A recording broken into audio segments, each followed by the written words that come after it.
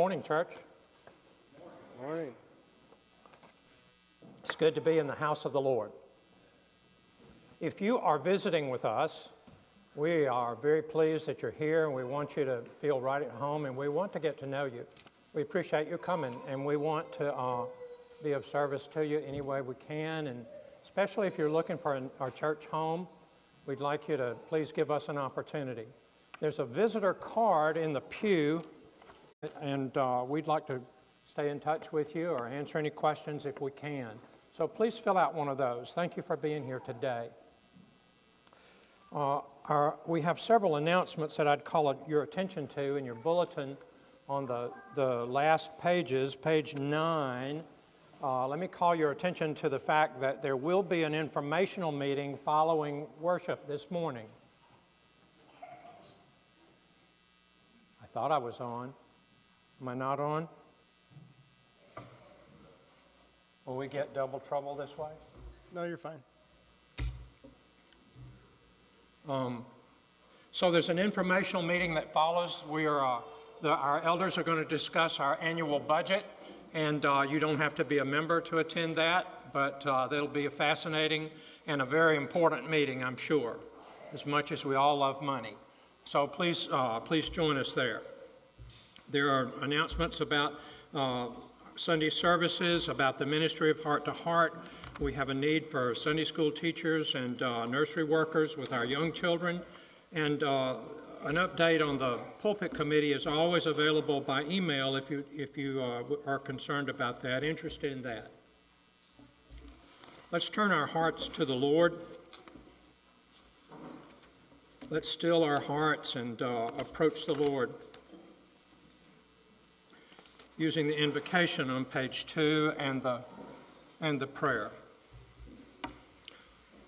I'll give thanks to the Lord, call on his name, make known his deeds among the peoples, sing to him, sing praises to him, tell of his wonderful works, glory in his holy name. Let us pray together. O, Father, Father, most, most high, high, whose dwelling place is beyond the heavens, heavens O Lord, incomparable, far beyond our loftiest thoughts. Gather us together in the name of Jesus, whom the angels adore as the Son of Most High, for his name is above every name.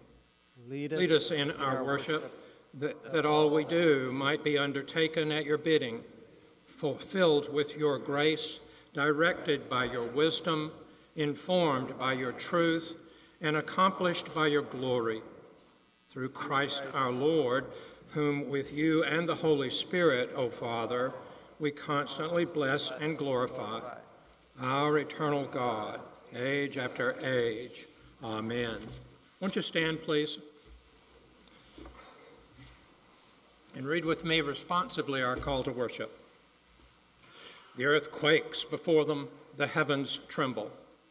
The sun and the moon are darkened, and the stars withdraw their shining. The Lord utters his voice before his army, for his camp is exceedingly great. He who executes his word is powerful.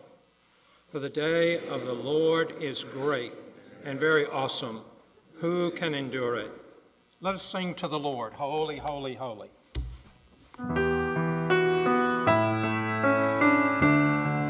Holy, holy. Holy, holy, holy, Lord God Almighty. Early in the morning, my song shall rise to thee.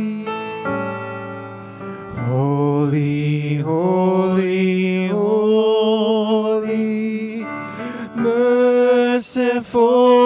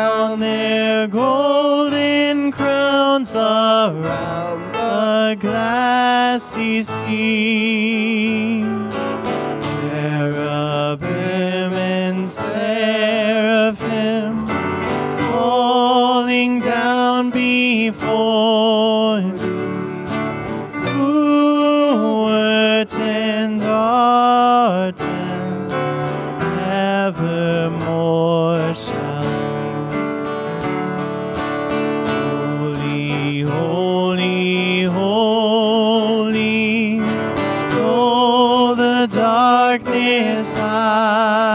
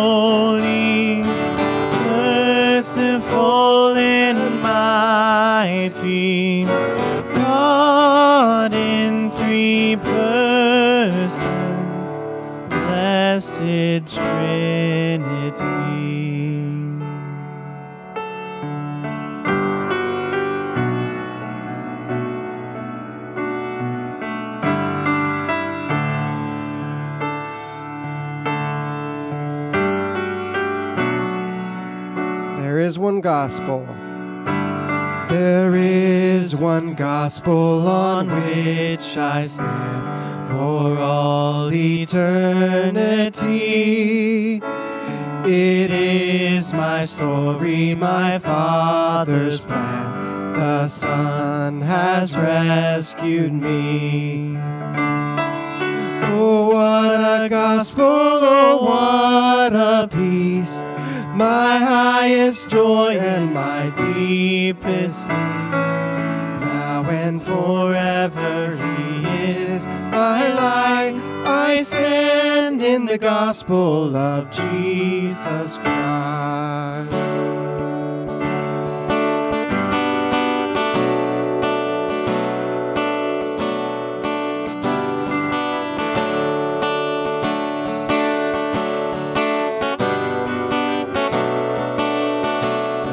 gospel. one gospel to which I cling. All else I count as lost.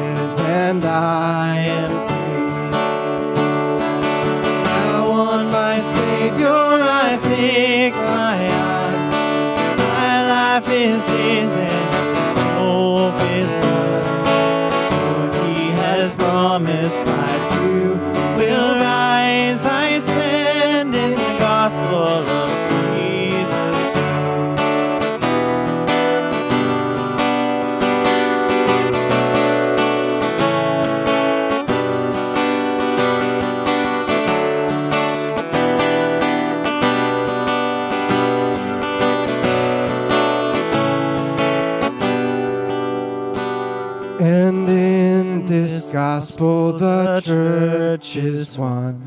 We do not walk alone. We have His Spirit as we press on to lead us safely home. And when in glory still I will sing of this old story that rescued me.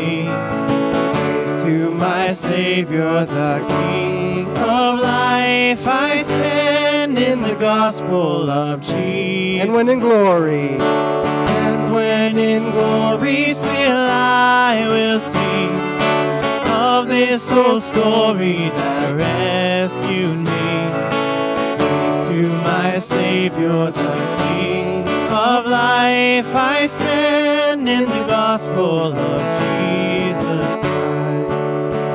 to my Savior, the King of life. I stand in the gospel of Jesus Christ. I stand in the gospel of Jesus Christ.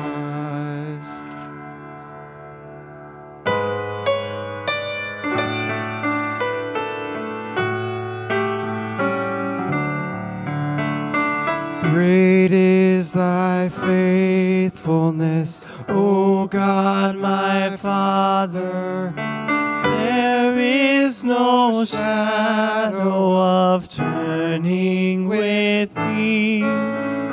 Thou changest not thy compassions, they fail not. As thou hast thou forever wilt be. Great is thy faithfulness, great is thy faithfulness. Morning by morning, new mercies I see. All I have needed, thy hand hath provided. Great faithfulness, Lord, unto me.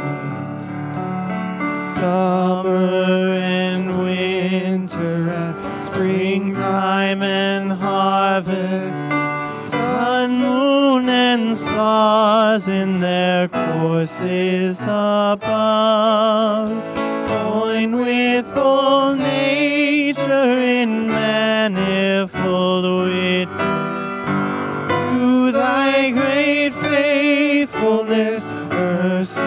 and love. Great is thy faithfulness, great is thy faithfulness. Morning by morning, new mercies I see. All I have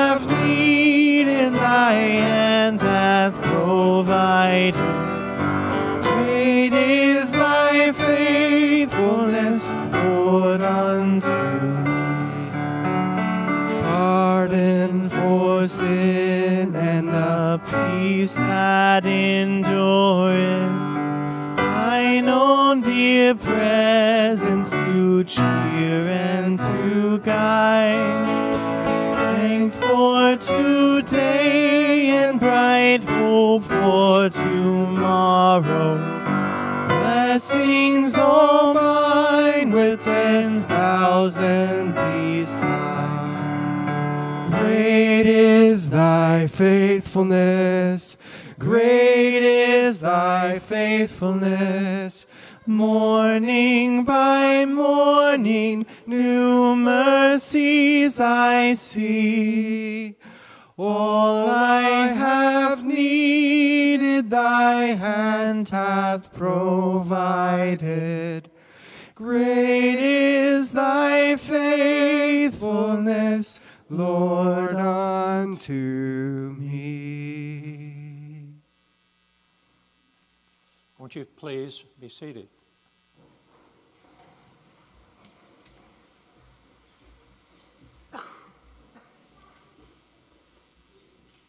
From our shorter catechism, we read questions 23 and 24. What offices doth Christ execute as our Redeemer? Christ, as our Redeemer, executeth the offices of a prophet, of a priest, and of a king, both in his estate of humiliation and exaltation. How doth Christ execute the office of a prophet? Christ executeth the office of a prophet in revealing to us, by his word and spirit, the will of God for our salvation. Throughout the whole Old Testament, the leaders of God's people are prophets, priests, and kings.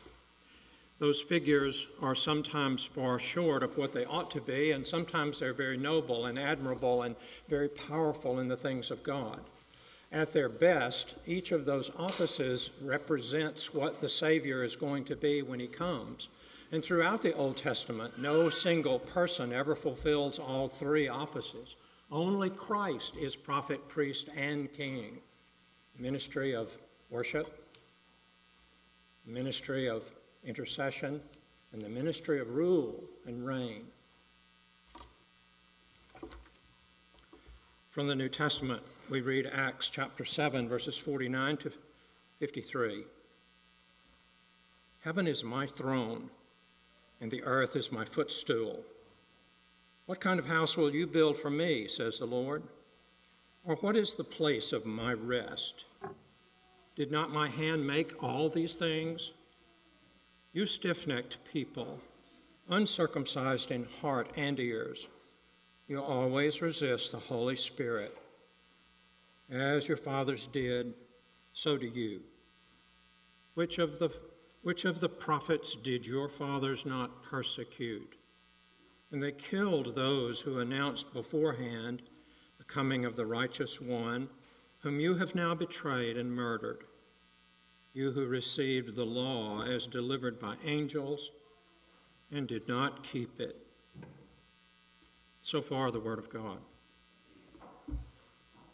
Please pray with me. We come to our time of intercession. Please join me in prayer.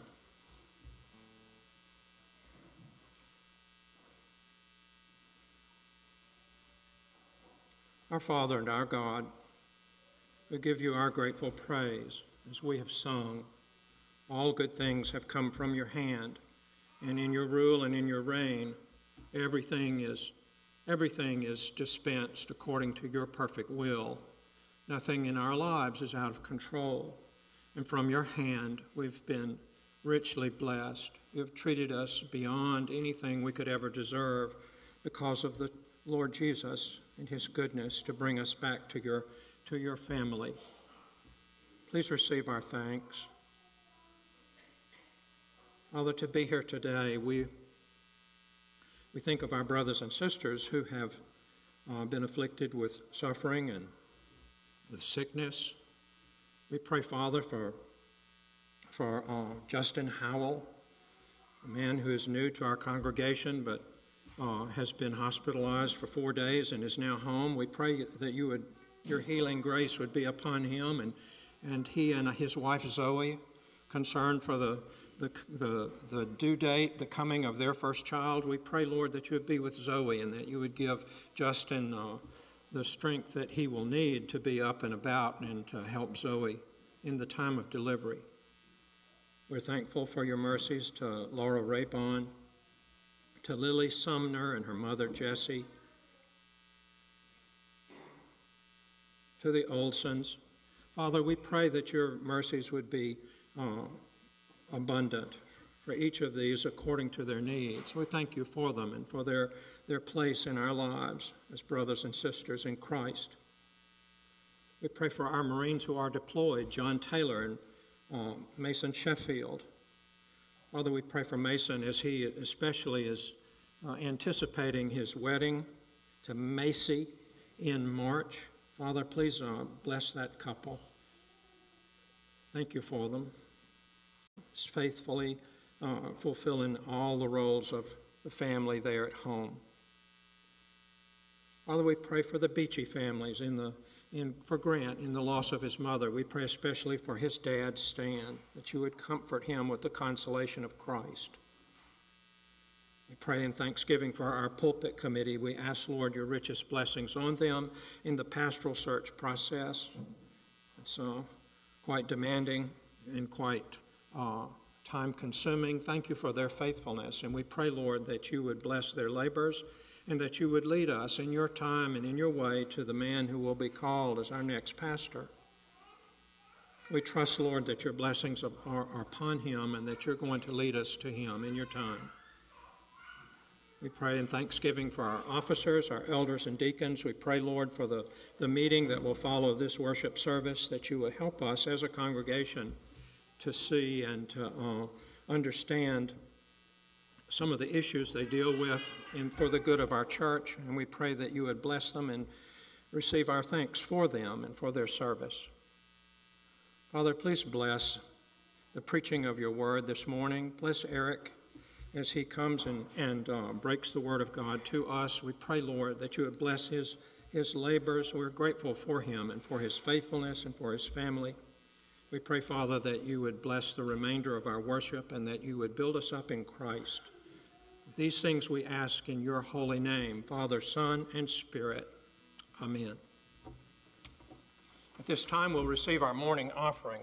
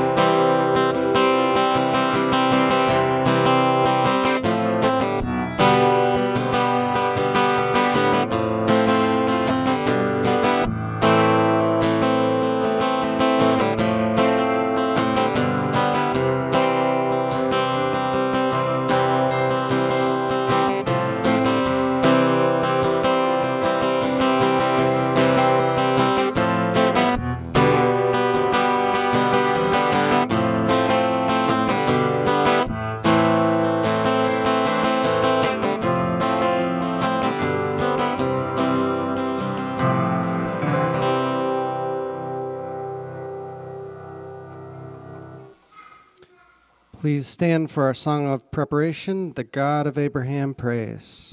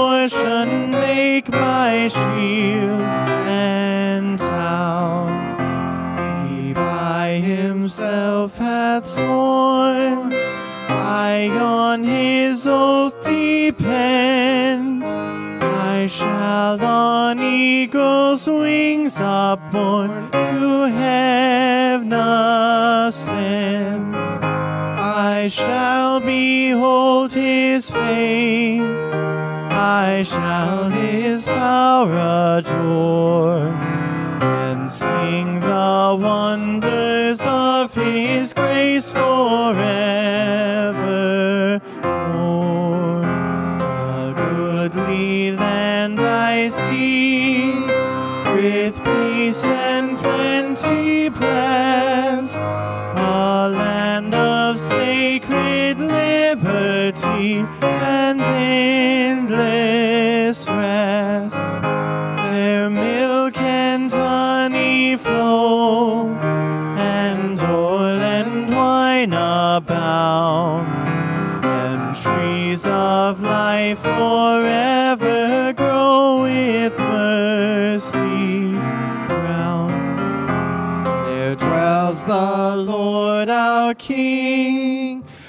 The Lord our righteousness, triumphant o'er the world and sin, the Prince of Peace.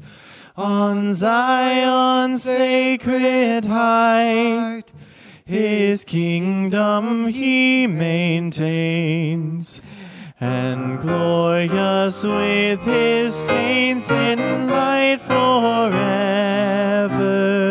reigns. The whole triumphant host gives thanks to God on high. Hail, Father, Son, and Holy Ghost, they ever cry. Hail, Abram's God and mine. I join the heavenly lays. All might and majesty are thine and endless praise. You may take your seats. Good morning. It's good to see all of you here. It's a good group. I I'm going to take care of two quick business items, if you don't mind. Um, I promised Alina that I would make the announcement about the women's study. This sheet is in the foyer. Find one of these. Um, there's Tuesday evening study and a Wednesday. one. So find these out there. Sign up. See Alina for more um, more details if you have questions about that. Um, and I just want to remind you again at the, of the uh, meeting, the informational meeting we're going to have just to present the budget. This is not a vote. We're just presenting that to you. We'll take a five minute break at the end of our worship service, so the end will be obvious. Take five minutes. Um, I, I would ask that you respect the uh, nursery workers, so grab your kids maybe and, and come back for that business uh, meeting for that announcement. It shouldn't take us long at all. We just want to make sure that you have that information in front of you. Turning your Bibles to Malachi chapter 3. We're actually going to start in 217 again and read through chapter 3, verse 7. I want you to make note of two questions as we begin. Maybe write these down just so you'll remember to go back to them at the end. The first question I want you to ask is How did you come to worship this morning? Don't be too literal in that. How did you come to worship? What's your heart as you come to worship this morning? And then the second question I want you to ask or write down is why did you come to worship this morning? So make note of those if you would, and we're going to turn back to those at the end. So if you'll turn with me in your Bibles, if you haven't already, Malachi chapter 2. I'll begin reading in verse 17 of chapter 2, and we'll read through chapter 3, verse 7. You have wearied the Lord with your words, but you say, How have we wearied him? By saying, Everyone who does evil is good in the sight of the Lord, and he delights in them, or by asking, Where is the God of justice? Behold, I send my messenger, and he will prepare the way before me, and the Lord whom you seek will suddenly come to his temple, and the messenger of the covenant in whom you delight, behold, he is coming, says the Lord of hosts. But who can endure the day of his coming, and who can stand when he appears? For he's like a refiner's fire and like fuller's soap. He will sit as a refiner and purifier of silver, and he will purify the sons of Levi and refine them like gold and silver. And they will bring offerings in righteousness to the Lord. Then the offering of Judah and Jerusalem will be pleasing to the Lord, as in the days of old and as in former years. Then I will draw near to you for judgment. I will be a swift witness against the sorcerers, against the adulterers, against those who swear falsely, against those who oppress the hired worker in his wages, the widow and the fatherless, against those who thrust aside the sojourner and do not fear me, says the Lord of hosts. For I, the Lord, do not change. Therefore, you, O children of Jacob, are not consumed.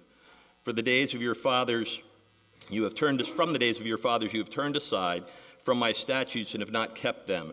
Return to me, and I will return to you, says the Lord of hosts. Let's pray together.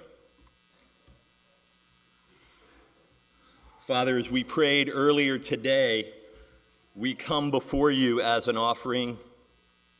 We present ourselves before you as an offering. And we're mindful of our sin and our shortcomings. And we also are aware of your faithfulness and your love and your mercy and your grace. And so we ask you to make something of our offering, make it into something that is a sweet aroma to you. Make it into something that shines brightly and demonstrates the gospel of Jesus Christ, in whom and in whom alone there is salvation. May we worship you aright. May you be honored in this time. In Christ Jesus' name we pray. Amen. You remember in chapter 2, verse 17, that the people made their accusations against God, and you'll also remember that this is the process in the book of Malachi these disputations, these conversations, if you will, but argumentative on the part of the people as they go before God and they accuse God. They accuse God of his failings, of his shortcomings. And even as God professes again, and then proves his love. The people resist and the people challenge him. They call him by other names, that is to say, they give to him attributes that are not his, that are the attributes of fallen, failed humans, and they remove from him the. We said that the accusations in verse 17 again were, as God says that he's weary of the voices, the words of the people, those accusations were everyone who does evil is good in the sight of the Lord and he delights in them, or they ask, Where is the justice of God? Where is God's justice? And we said there are two ways to look at this. This could be cynical questions. It could be that the people are looking at the world around them and saying, The world around us is prospering, it's successful. God, certainly you delight in those other nations, but what about us? What have you done for us? Or the people in at the end of this, where is the God of justice? They could be asking, God, where is your justice? Why haven't you dealt fairly with us? Why haven't you dealt according to your covenant promises to us? This is a dangerous place to be, and we find ourselves in the same place in our own lives where we are calling out God for not acting the way that we think God should act as opposed to knowing who God is in His Word and submitting to that. When we go to God, are we asking Him based on what He's already told and demonstrated to be true about Himself, or are we asking those things that we feel, we think, even in our fallen nature, that we think holy God should be doing? So, those are the two charges that we have from the people against God. God, you're not holy. That is, you don't hate sin really. And God, you're not just. You're not dealing with us fairly. In Deuteronomy 32, verse 4, we read, The rock, his work is perfect, for all his ways are justice, a God of faithfulness and without iniquity. Just and upright is he. But the people resist. The people here challenge that reality, the truth of who God is.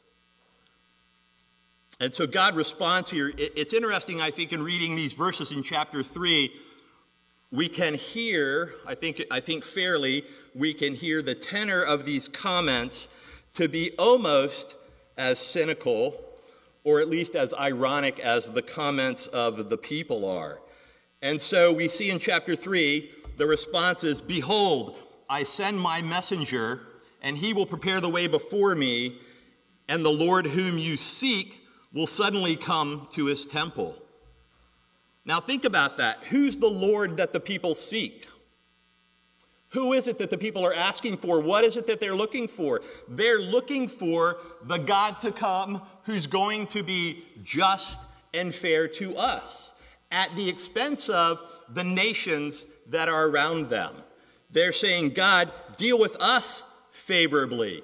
Restore to us that glory, perhaps, that grandeur that we knew, and eliminate the threat of the people. We spent one Sunday morning at length covering the history of the people of Israel. And you'll remember here, these are people that have been in captivity and are back. I keep coming back to that because it's significant. They were carried into captivity because of their sin. The just and holy God had judged the people, He had caused them, not just let them wander, caused them to be taken away in captivity in Babylon, and He held them there until an appointed time that He determined to bring them back into the land that He promised. This is the God of covenant. This is His covenant promise. If you obey me, he says to his people, then you will have. And he lists the promises. Included in that promise was this land, this place. And so we have people that are living out the very fulfill- fulfillment of the covenant promise of God that are accusing God of not being just, of not being fair, and certainly of not being holy. Holy. And so God says, Behold. That word behold we'll see repeated here it's this idea look, pay attention. I'm going to show you who I am. All those things you think you were asking for, all those things you say you want, it's coming. It's coming in my timing. And the tenor here is, and you're not really going to like it.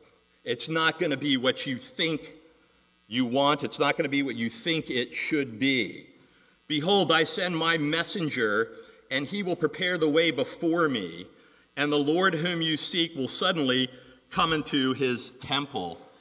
So there's two messengers really that are sent out that we read in chapter 3. So we have the first messenger Behold, I send my messenger, and he will prepare the way before me. We see these same words. I mentioned this last week. They're quoted in Matthew 11, verse 10, in Mark 1, verse 2, and in Luke 7, 27. Each time these words speak directly to John the Baptist, the coming of the prophet, the messenger of John the Baptist. In Matthew 11, verses 10 and 11, we read, This is he of whom it is written, Behold, I send my messenger before your face, who will prepare your way before you. Truly I say to you, among those born of women, there has risen no one greater than John the Baptist. Yet the one who is least in the kingdom of heaven is greater than he. As we go on through Malachi, Malachi 4 5, we read, Behold, I will send you Elijah the prophet before the great and awesome day of the Lord comes. That same verse, Malachi 4 5, is quoted in Luke 1:17 as the announcement of the birth of John the Baptist. So this first messenger, we're looking forward to John the Baptist. Now remember, if you followed us through our Advent series, we know that there's a 400 year time span so when we read in Scripture, behold, this is what I'm doing, that doesn't mean this is what I'm doing right now. This is God's timing. So we have a prophetic statement, a prophet prophesying of a prophet to come, and that prophet, John the Baptist. So let's look for a minute at the ministry of John the Baptist to understand what's happening as we go through chapter 3. Think about what you know to be true about John the Baptist and his work.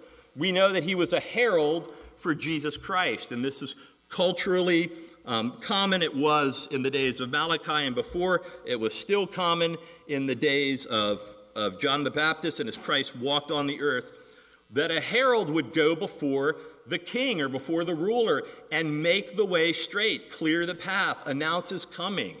There would be a parade of exaltation, of celebration. The king is on his way. And so we think of that, I, I, I, believe we would tend to think of that as a celebratory time. But think about John the Baptist and his ministry. In Mark chapter 1, verses 4 and 5, we read the following John appeared baptizing in the wilderness and proclaiming a baptism of repentance for the forgiveness of sins. And all the country of Judea and Jerusalem were going out to him and were being baptized by him in the river Jordan, confessing their sins. So the people, the Jewish people of Judea and Jerusalem, were being called to repentance their sins, their personal sins, and even their national sins were being called out. This is not the typical picture we see of the royal, um, the, the royal parade, the royal procession of just horns and music and celebration.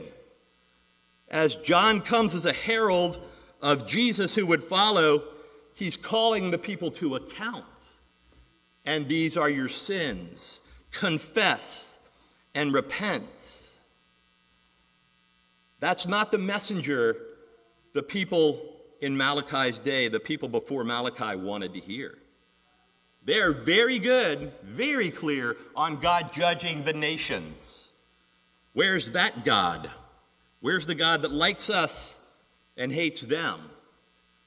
But what they're getting, what they're receiving is a bold proclamation of the holiness of God and their need to repent, their need to confess their sin, their need to be made right. It's interesting, I think, that John is not preaching as he comes to the evils of Roman occupation.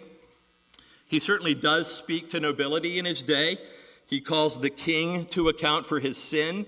He loses his life ultimately because of that.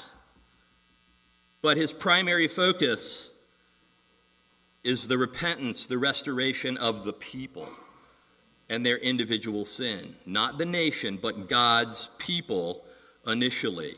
And so, as he comes as a herald and as he comes as a messenger, that's what he's coming to do.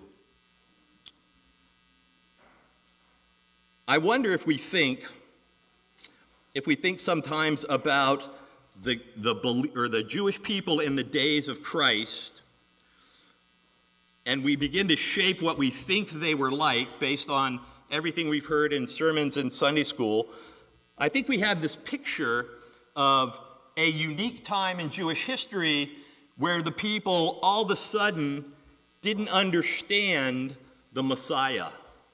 We tend to present it like that. So we have this picture of the Old Testament is pointing to Jesus Christ, right and true, and that the people are looking forward to this Messiah to come for salvation. That's absolutely true. That's the call. What we miss is the failing of the people constantly in the Old Testament to understand what that messianic promise ultimately is. And we see and hear people that are rejecting that. And so when we look at the people in the day of Malachi and we look at the people in the day of Christ as he walks the earth, their hearts are very similar. If I was to ask you, what did the people want in Jerusalem at the coming of Christ? And those of you that have been in Sunday school or church for any time period would say they wanted a human Messiah or they wanted deliverance at least from their human oppression. That was their heart. And so many in that thinking missed the work of Christ. That same is true at the time of Malachi, where they're calling already at this point for some sort of human interdiction whereby they can live as the prominent and the dominant people, where they can look down on the rest of the world, on the other peoples, because they are blessed by God, they're His people. But when John comes as the messenger, that's not the message he brings. His center of ministry, if you will, was pointing out the sin of the people, calling God's people to repentance. And in doing this, he rightly prepared the way of the Messiah. We read on Behold, I send my messenger, and he will prepare the way before me. And the Lord whom you seek will suddenly come to his temple. Do you like surprises? There's different people. Some people really like surprises, they like things to happen suddenly and unexpectedly. When we see this word in Scripture, however, it's never a good thing.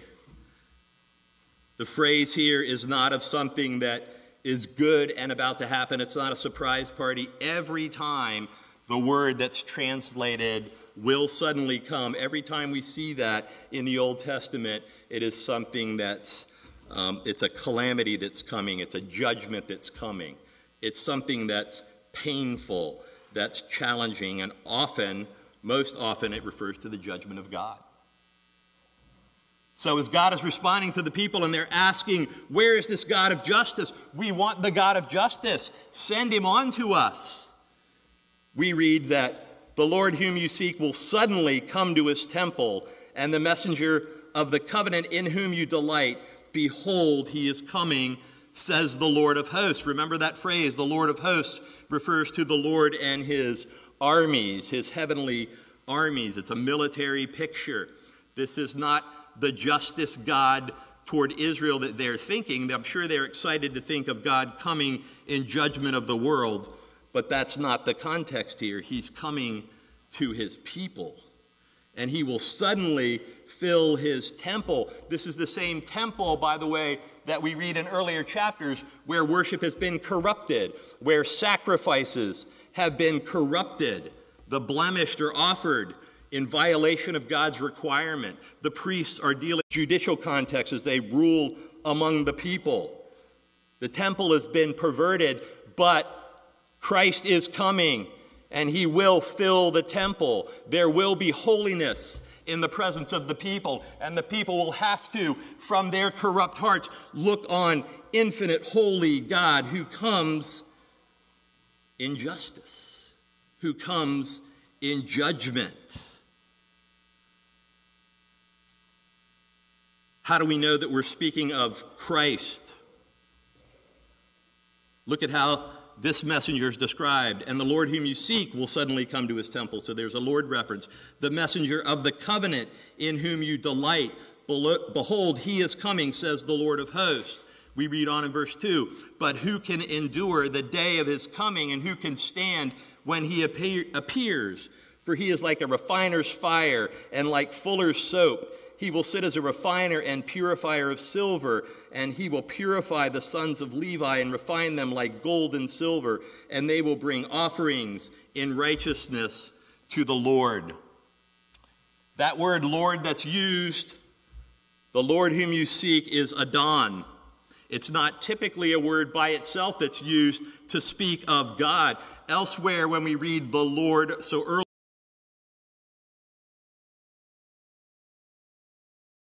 sometimes we'll say as Jehovah, this is the infinite, self existing God. When we get, though, to verse 1, we read, The Lord whom you seek. That the is a definite article, so it's not just a Lord or some Lord, it is the Lord. This is significant because there's a distinction between the Lord referenced earlier and the Lord referenced here, and it's a designation for Christ the Messiah, the Lord whom you seek. And again, the people don't even know who it is they're really seeking. They're asking in ignorance for this justice, for this God who's holy, and they're not even clear on what it is they're asking. And so, again, an almost ironic response here. It's the Lord whom you seek. You don't even understand who he is, that's who's coming. That's who will fill the temple. And he is the messenger of the covenant in whom you delight. Think about who Jesus, the Christ, is. He's the satisfaction of every covenant that we see in the Old Testament moving forward. And he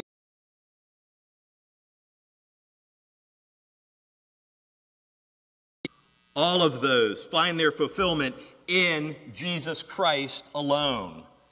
There is salvation in no one else because there is satisfaction. There is no other satisfaction for the covenants than Christ Jesus himself. If we were to look at Colossians 1:19, we would be more convinced of this. Speaking of Christ, we read, For in him all the fullness of God was pleased to dwell. This is Jesus Christ, the Messiah. In Colossians 2, verses 9 and 10, Jesus is described thusly For in him the whole fullness of deity dwells bodily, and you have been filled in him, who is the head of all rule and authority. That's the Jesus that we speak of in the Bible. I know this is not um, necessarily always a popular picture of Jesus in this day. But as Jesus comes in love, absolutely, in sacrifice, absolutely, to seek and to save the lost, absolutely true, he comes as holy, just God, the righteous judge. And suddenly, he will fill the temple. Jeremiah 33, 14 and 15. Behold, the days are coming, declares the Lord, when I will fulfill the promise I made to the house of Israel and the house of Judah. In those days and at that time, I will cause a righteous branch to spring up for David, and he shall execute justice and righteousness in the land. That's Jesus Christ, the Messiah. I, I, debated whether to do this, but we're, we're going to we're gonna do it anyway. Turning your Bibles to Revelation. If you have your Bible or Bible app, turn to Revelation 19. I, I just want you to, to just listen and hear who our Savior is. And I understand there's figurative language in Revelation, and we can't expound on all of this, but just read these words. And I encourage you, go back to them this afternoon. Go back to them as you study this week. So, Revelation 19, beginning in verse 11 Then I saw heaven opened, and behold, a white horse. The one sitting on it is called Faithful and True, and in righteousness he judges and makes war. His eyes are like a flame of fire, and on his head are many diadems. And he has a name written that no God. And the armies of heaven, arrayed in fine linen, white, pure, were following him on white horses. From his mouth comes a sharp sword with which to strike down the nations, and he will rule them with the rod of iron. He will tread the winepress of the fury of the wrath of God Almighty. On his robe and on his thigh, he has a name written King of Kings and Lord of Lords. Flip over to chapter 20, reading in verse 11. Then I saw a great white throne and him who was seated on it. For his presence, earth and sky, excuse me, from his presence, earth and sky fled away, and no place was found for them. And I saw the dead, great and small, standing before the throne, and books were opened. Then another book was opened, which is the book of life. And the dead were judged by what was written in the books according to what they had done. And the sea gave up the dead who were in it. Death and Hades gave up the dead who were in them and they were judged, each one of them, according to what they had done. Then death and Hades were thrown into the lake of fire. This is the second death, the lake of fire. And if anyone's name was not found written in the book of life, he was thrown into the lake of fire. The people want justice, they say. And we're going to get justice. We get a justice cry in our culture every day. We cry out in our own lives most days. It's not fair. It's not just. Be just to me. What we've just read is a picture of God's justice, His holiness, the standard of perfection. We read in our, in our reading already in the service from Joel chapter 2 verse 11 For the day of the Lord is great and very awesome. Who can endure it? In Joel chapter 2, if we were to read down just a bit further, beginning in verse 31, we would read, The sun shall be turned to darkness and the moon to blood before the great and awesome day of the Lord comes. Verse 32 And it shall come to pass that everyone who calls on the name of the Lord shall be saved. Do you see that? Do you understand a little bit of the depths of our depravity? Do you hear a little bit the petty whining of the people in the day of Malachi and perhaps our own petty whining? Do you see what lies ahead for those who do not call upon the name of the Lord, who reject the sacrifice of Christ? It's hell, eternally, suffering. So great is God's holiness, and so great is our rebellion that we see so great a punishment. And the only hope, the only hope, is calling on the name of Jesus Christ. We read on and we begin to see the mercy, even though I'm not convinced the people of the day see this. We read in verse 2 But who can endure the day of his coming, and who can stand when he appears? For he is like a refiner's fire and like fuller's soap. Those are two different pictures of metallurgy and the refinement, and then scrubbing clean on the surface. So both of them end with purification of something. It's a beautiful picture because it's not destruction of something. God comes to his people and he comes to judge them to be sure, but he leads with refining, he leads with cleansing, he leads with purifying his people. For he is like a refiner's fire and like fuller's soap. He will sit as a refiner and purifier of silver, and he will purify the sons of Levi and refine them like gold and silver. The sons of Levi are who? The priests. He begins with the leadership.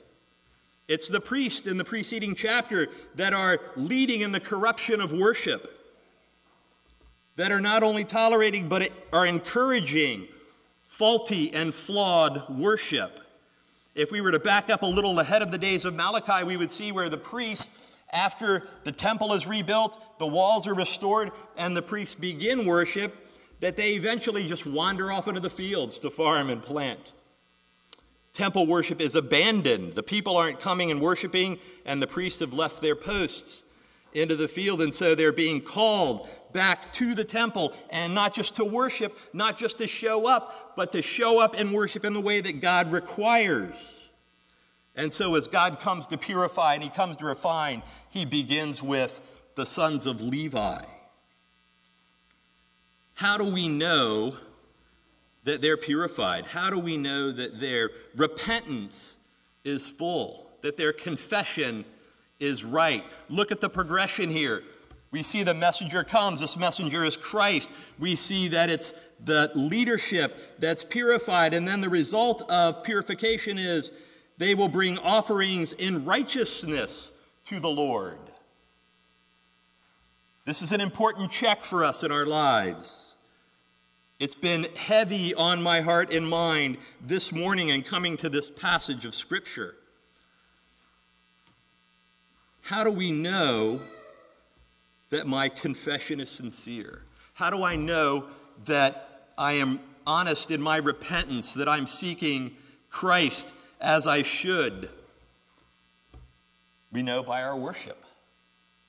We know by how we come to worship. We know by who we are in worship. If we read on in verse 4, then the offering of Judah and Jerusalem will be pleasing to the Lord as in the days of old and as in former years. The result of sincere and honest confession and repentance will always be worship. It will always be right worship. We live in a day and age, I think, where church attendance and body participation is like any other thing in our list. And I'm not just blasting you guys, I am preaching to myself where this is just another thing we can do out of all the things that we could possibly be doing. And that's sinful, rebellious worship. But if we are faithful in our confession and repentance, if we are seeking God, that will be demonstrated in our worship, in a heart for worship, and a desire to proclaim the infinite worth of God as we come together corporately, as I live my life, as you live your life, individually and personally. There's a distinction here, a transition as we move from verse 4 into verse 5. In verse 5, we see, Then I will draw near to you for judgment. I will be a swift witness against sorcerers, against the adulterers, against those who swear falsely, against those who oppress the hired worker in his wages, the, wind- the widow of the fa- and the fatherless, against those who thrust aside the sojourner and do not fear me, says the Lord of hosts. I think we have two pictures here. Through verse 4, we have this picture of discipline. It's a good and godly picture. We know whom the Lord loves he disciplines. What's the distinction between discipline and punishment? We spoke to this a little bit last week, but not in its fullness. The heart of discipline is repentance and restoration. That's the heart of God's discipline in the lives of his children. Repentance, restoration. Restoration is right worship that we are where we should be, that we are seeing God as we should be. And as we sin, we must, we need to confess again, repent again, seek God again, draw near to God again. And because, as we read in verse 6, for I, the Lord, do not change, we know He's there as we confess and repent and return to Him. Our sin interrupts our worship. And that confession, repentance, is a restoration of that same worship. It's interesting to note, I think, in 1 John 1 7, John writing makes clear that ultimately, and we should remember this, the blood of Jesus, his Son, that is God's Son, cleanses us from all sin. Even in this, it's the blood of Christ that we appeal to in our confession. So there's discipline, and then in verse 5, there's punishment. Then I will draw near to you for judgment, and I will be a swift witness against who? The unrepentant. Those that are not the children of God. Those that are outside of the kingdom of God. Those who have not called upon the name of Jesus Christ to be saved. So Jesus, in his coming, refines his people and then judges those who resist and rebel. John Piper writes this of punishment it's holy and just retribution, and it is eternal. Therefore, it's not designed for rehabilitation. It displays God's justice, and it highlights how valuable mercy is to those who receive it. So again, I ask you, what do we do with this? What do we do with this text in front of us? We spoke of this last week, verse 7 Return to me, and I will return to you. From the days of your fathers, you have turned aside from my statutes and have not kept them.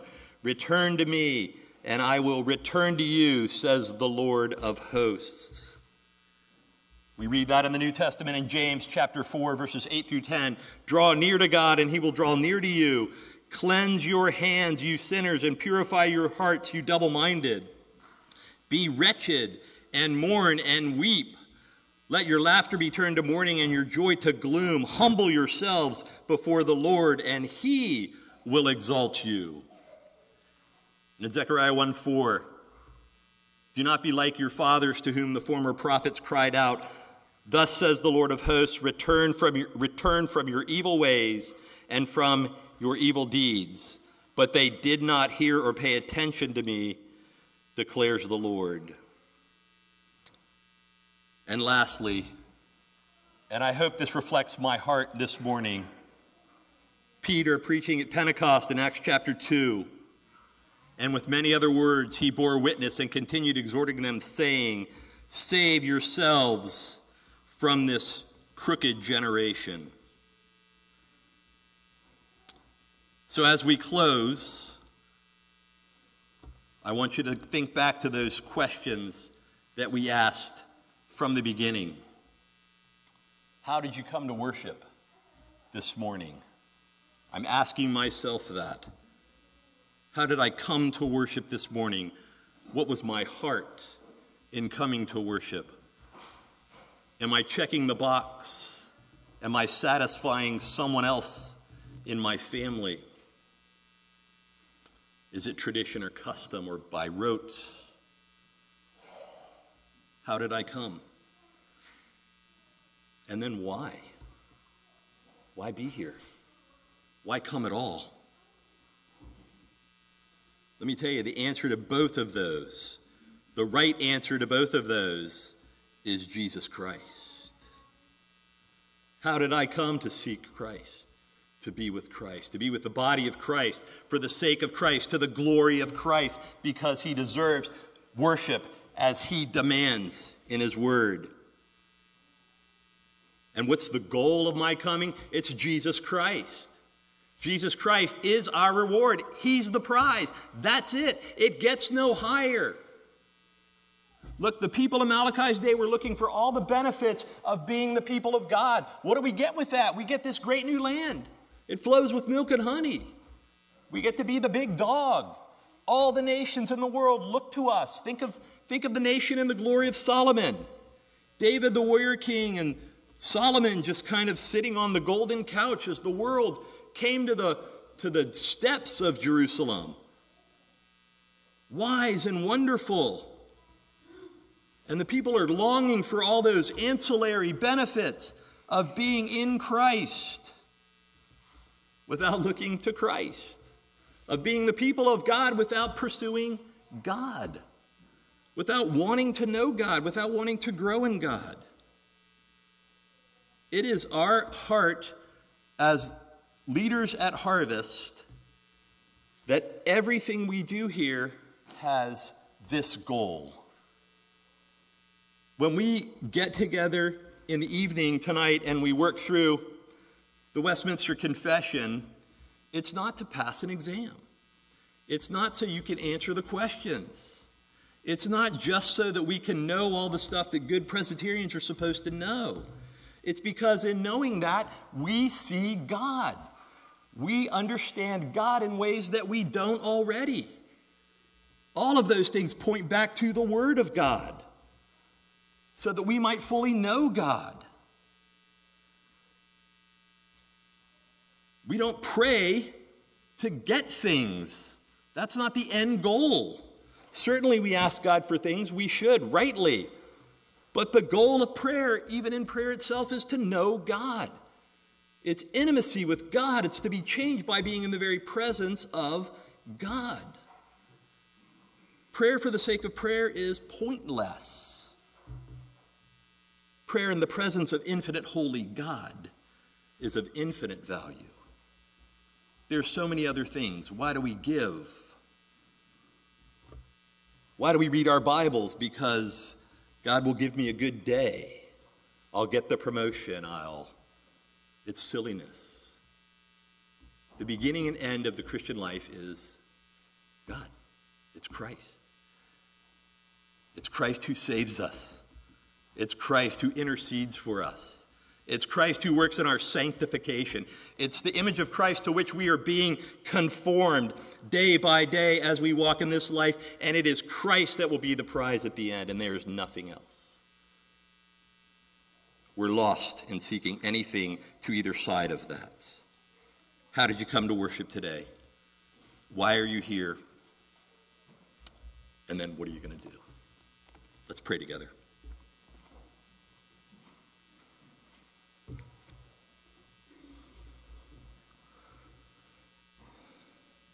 Father, we as a people confess our sin. I say that for me personally, and I say that for this body. We see in your word something of your holiness.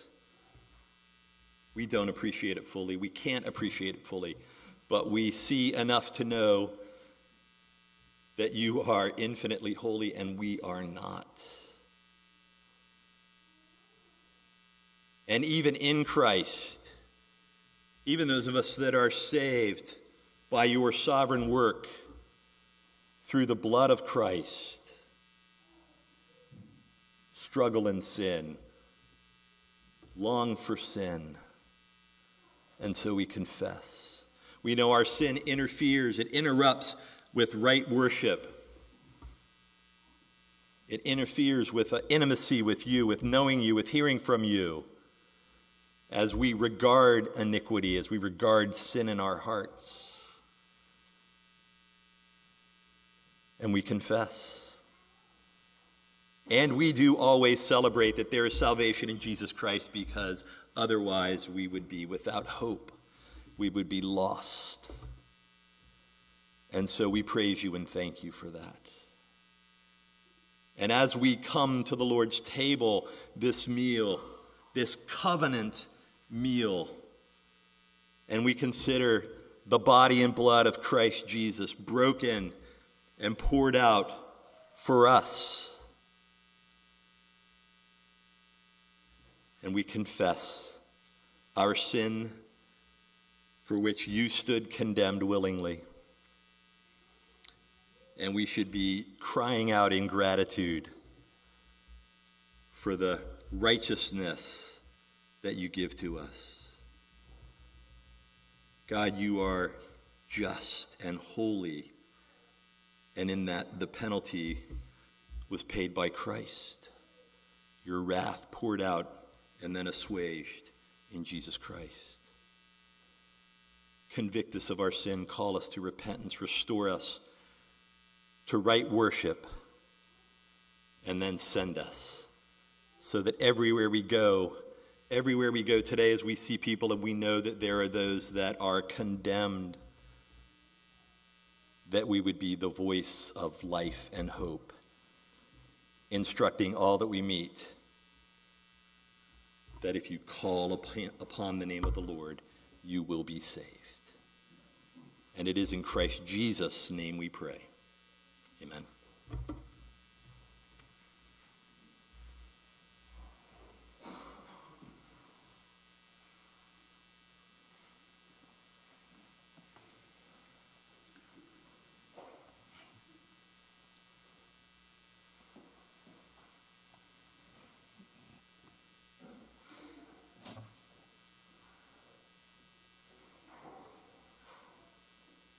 1 Corinthians chapter 11. Hear the words of the institution of the Lord's Supper. For I received from the Lord what I also delivered to you that the Lord Jesus, on the night when he was betrayed, took bread, and when he had given thanks, he broke it and said, This is my body, which is for you. Do this in remembrance of me. In the same way, also, he took the cup after supper, saying, This cup is the new covenant in my blood. Do this as often as you drink it in remembrance of me. For as often as you eat this bread and drink the cup, you proclaim the Lord's death until he comes. Whoever therefore eats the bread or drinks the cup of the Lord in an unworthy manner will be guilty concerning the body and blood of the Lord. Let a person examine himself, and so eat of the bread and drink of the cup. For anyone who eats and drinks without discerning the body eats and drinks judgment on himself. This is why many of you are weak and ill, and some have died. But if we judged ourselves truly, we would not be judged. But when we are judged by the Lord, we're disciplined so that we may not be condemned along with the world. So then, my brothers, when you come together to eat, wait for one another. If anyone is hungry, let him eat at home, so that when you come together, it will not be for judgment. Please pray with me. Father, we ask that you would set apart these elements for our worship, for your glorification for our edification, for our nourishment and enrichment in Christ. These things we ask, Father, Son, Holy Spirit, for your sake and in faith in you. Amen. When we eat and drink, when we take in food, we are nourished by it. It's digested. The nu- nutritional value of it is communicated to our bodies, and we're able to live. We're able to work. We're able to move. We're able to think. For you to be a Christian, Christ has to be in you. He has to nourish you, strengthen you, enable you. Writing to the Ephesians, Paul said, For by grace you're saved through faith, that not of yourselves, it's the gift of God. It's not your working, it's not, it's not you yourself that made yourself a Christian by believing. Your faith, your connection to Christ is a gift of God. But that faith in Christ then leads you to be his workmanship. Paul says, For we are his workmanship, created in Christ Jesus for good works, as our preacher communicated. Everywhere we go, everything we do, our concern is to glorify God, to serve him, and to do his will and his work.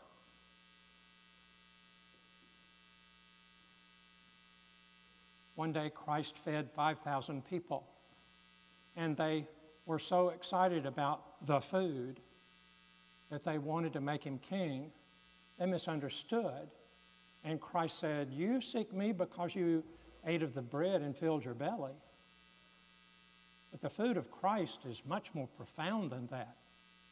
Much more profound. There's, there's food here that is not bread. Man shall not live by bread alone. And that's what this is. This is bread alone. But beyond this is the reality of our Savior living,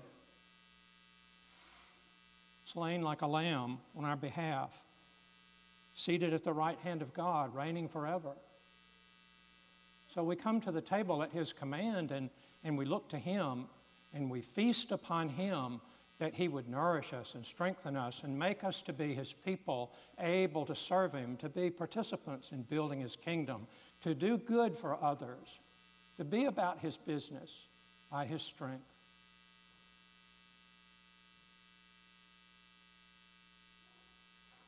Christ is our Savior, and we come to Him. We don't come to the table to receive the food, we come for what is beyond the table, above the table what is truly real, what is truly real, we come to Him. If you trust Christ as your Savior, you're welcome at this table.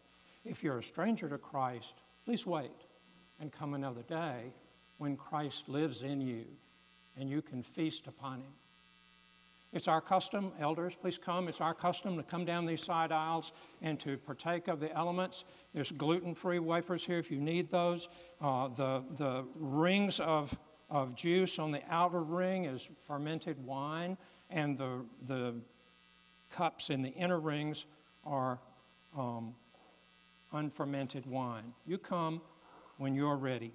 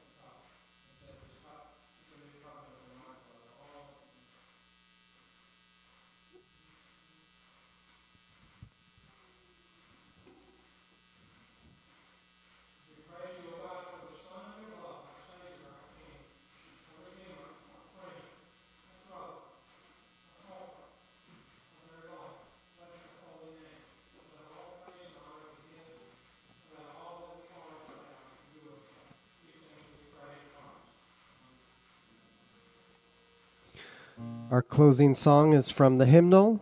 So find your red hymnals and turn to 660. O God, beyond all praising. Please stand.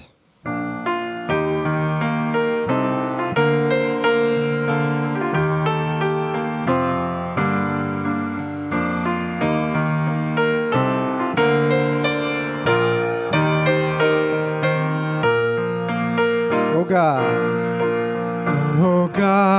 Beyond all praising, we worship you today and sing the love amazing that songs cannot repay.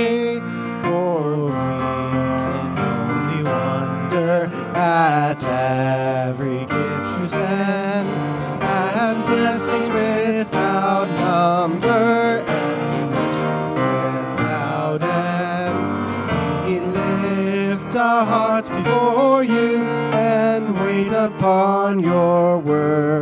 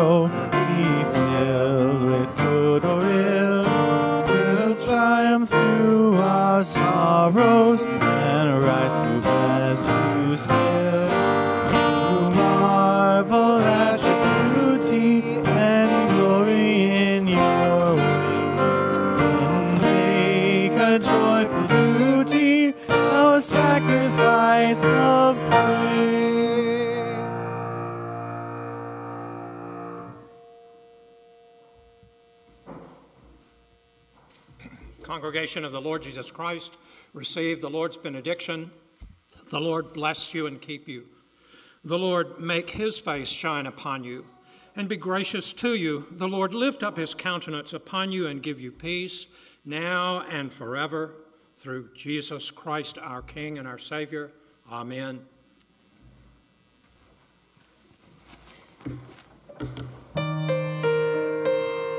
Dismissed, and we'll see you back here in just a moment. Just a reminder to